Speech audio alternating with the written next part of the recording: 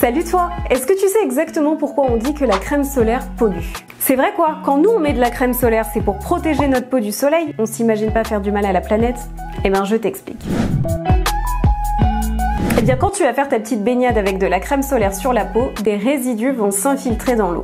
Parfois même quand tu fais seulement bronzette sur la plage, hein, des résidus vont se déposer sur le sable qui vont finir dans l'eau. Alors il existe deux principaux types de filtres UV. Les filtres minéraux qui contiennent des particules métalliques comme le dioxyde de zinc et le dioxyde de titane. Et ces filtres bloquent physiquement les rayons du soleil comme des petits miroirs. Il y a aussi les filtres UV chimiques organiques.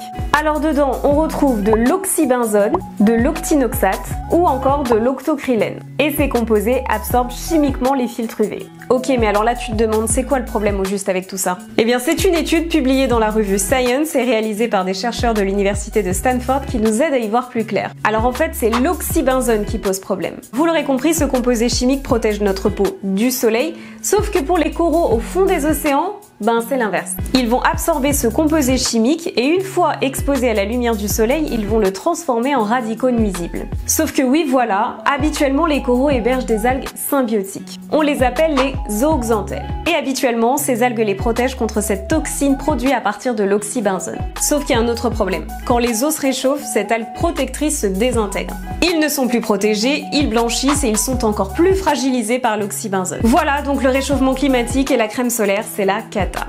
Sinon, l'octocrylène est aussi nocif. D'autres études le prouvent, comme celle-ci qui a été publiée dans la revue Scientific Report en juin 2020. Cette molécule s'accumule dans les coraux sous forme d'acides gras particuliers et ils attaquent les fonctions vitales des coraux. Et cette pollution menace les récifs coralliens de nombreux sites touristiques partout dans le monde. C'est pour cette raison qu'Hawaï a interdit la vente de crèmes solaires qui contiennent ces deux composés chimiques depuis le 1er janvier 2021. Et tout ça, c'est reconnu pour être aussi très nocif pour la santé des poissons. Bon, et alors les chiffres font peur.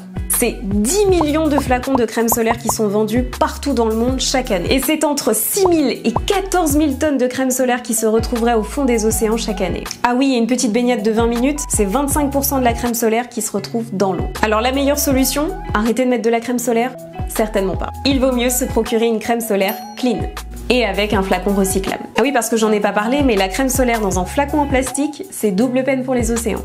Et si tu veux comprendre ce qu'il y a vraiment dans une crème solaire clean et pourquoi c'est la meilleure solution pour l'environnement, je t'invite à lire l'article sur mon blog. Et évidemment, si tu as aimé cette vidéo, n'hésite pas à t'abonner à ma chaîne et à liker, partager, commenter, activer la petite cloche. À bientôt